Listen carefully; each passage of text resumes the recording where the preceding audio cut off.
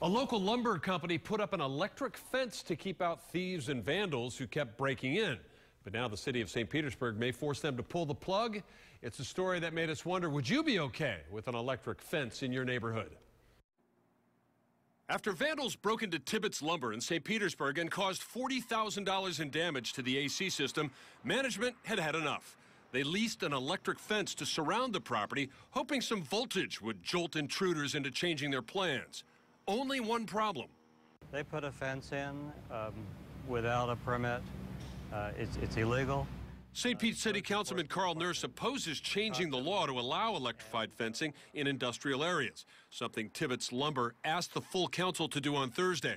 Nurse says the fence is in a bad location right alongside the popular Pinellas Trail and Gibbs High School. One St. Petersburg resident told us it made him nervous. Guard dogs I could deal with, but the, the fence itself, I, I just don't like it in our city. So what does it feel like to touch one of these things? Sorry to disappoint you, but I won't be doing a demonstration. I will tell you that the company describes the experience as safe but memorable. YouTube is full of videos showing mostly young people touching electric fences as a game.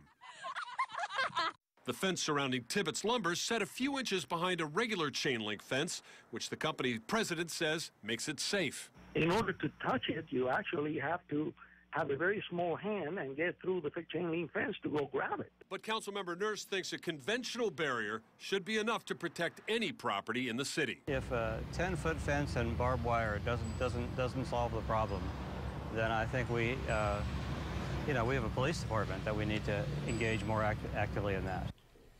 Well, it turns out the city of St. Petersburg kind of violates their own law. They have an electric fence that surrounds a water pumping station. Councilman Nurse says that was the result of Homeland Security requirements after the 9 11 attacks.